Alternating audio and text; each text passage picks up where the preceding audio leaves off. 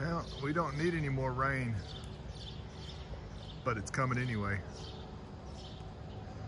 Beautiful structure. Look at that. Shelf.